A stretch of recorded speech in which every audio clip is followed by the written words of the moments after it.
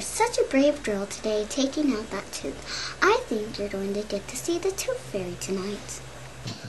Mommy, do you really think the tooth fairy's coming tonight? If you believe in her, she will. I love the tooth fairy. She always gives me money.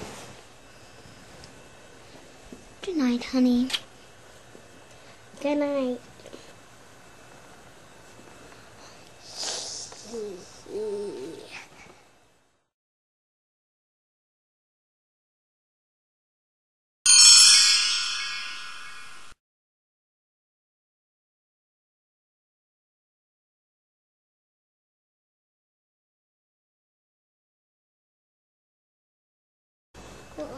Ugh.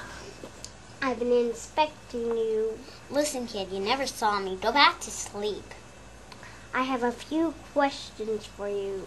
I'm not here. You're actually dreaming. Shh. I thought you were supposed to be small. And I, I thought you were supposed to be asleep. Now shut your eyes and go back to Snorri Snorland. What do you do with all the teeth? Come on, can you just go back to sleep? I want to know why you were buying all these teeth. We sell them. You kn- we have a business here. You know those styrofoam peanuts? They're my kids' teeth. Ew, gross. Hey, it's 11. Can you just please go back to sleep? Let's get serious here. How much money do you got for me? A quarter? Everybody gets a quarter. A quarter? I don't think you've been following the newest prices. Oh no. Here, I made a presentation for you to look at. And now the latest tooth pricing. The European Euro tooth has been strong against the American bucktooth, but our dental market has been on the rise. Molars and bicuspids will run you about a quarter nowadays. I have a big tooth here. It's at least going to cost you a dollar. Oh boy. These are my baby teeth. Wait until my wisdom teeth grow in. We're talking serious now. It's gonna cost you a lot of cash.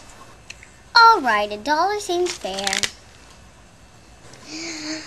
Tell the next person to be come on in. Pleasure doing business with you. Watch yourself in there. She's pretty tough.